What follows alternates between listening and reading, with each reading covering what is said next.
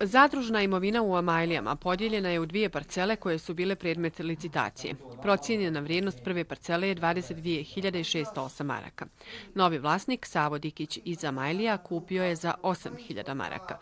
Drugu parcelu procijenjene vrijednosti 78.100 maraka kupio je Jovica Stevanović iz Bijeljene za 60.000 maraka.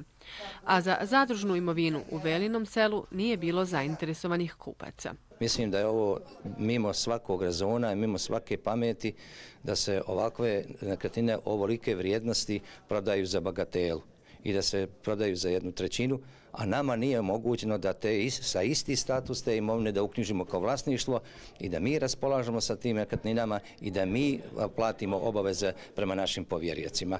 U tom slučaju prodaje imovine bi išla po tržišnim uslovima, što je vjerovatno nekomu u interesu da se ta imovina raskrčmi za bagatelu. Mirković najavljuje žalbu nakon dobijanja rješenja od osudi. S obzirom da jedan broj nekretnina u sklopu ovih lokacija nije bio predmet vještačenja i nije bio predmet prodaje.